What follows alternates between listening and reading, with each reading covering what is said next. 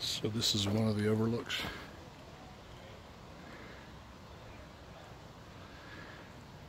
Looking west on the Lances Trail.